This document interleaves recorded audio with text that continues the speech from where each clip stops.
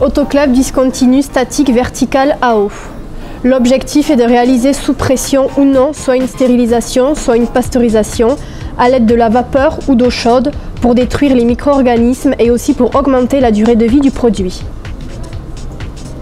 Dans la cuve métallique se trouve un panier en métal où l'on va disposer les bocaux verticalement. Donc on doit remplir au maximum le premier étage avant d'en faire un second. Ils ne doivent pas être trop serrés les uns contre les autres pour que l'eau puisse circuler.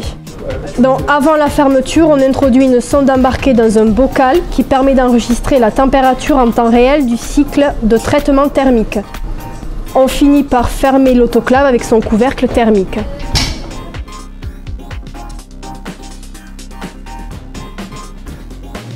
Ce schéma représente euh, le suivi de la température à cœur du produit. C'est aussi une preuve de suivi euh, pour l'achat CCP. Ici, nous avons la durée du temps de stérilisation.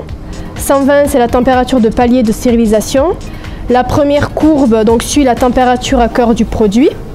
Et la deuxième, c'est la VS cumulée, qui est de 11,14 minutes.